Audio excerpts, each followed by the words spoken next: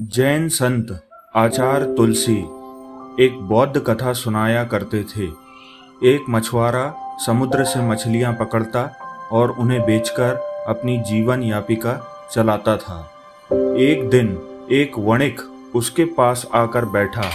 उसने पूछा, मित्र, क्या तुम्हारे पिता हैं? उसने जवाब दिया, नहीं। उन्हें समुद्र की एक बड़ी मछली निगल गई। उसने फिर पूछा तुम्हारा बड़ा भाई मछुआरे ने जवाब दिया, नौका डूब जाने के कारण वह भी समुद्र में समा गया। वणिक ने फिर पूछा, दादाजी और चाचा जी की मृत्यु कैसे हुई? मछुआरे ने बताया, वह भी समुद्र में लीन हो गए थे। वणिक ने यह सुना तो बोला, मित्र, यह समुद्र तुम्हारे विनाश का कारण है। बावजूद इसके तुम तट पर आकर रोज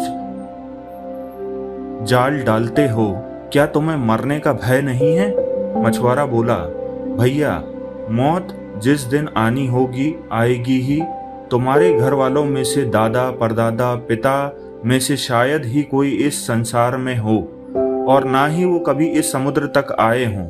फिर भी वह सभी लोग चले गए। मौत कब आती है और कैसे आती है, यह आज तक कोई भी नहीं समझ सका। फिर मैं बेकार ही बैठकर, मौत की चिंता कर कर अपने कर्म से पीछे क्यों हटूं?